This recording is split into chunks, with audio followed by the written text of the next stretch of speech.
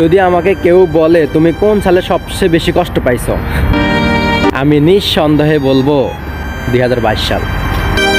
কারণ আমি এই বাইশ সালে সবচেয়ে বেশি ভালোবাসা পাইছি।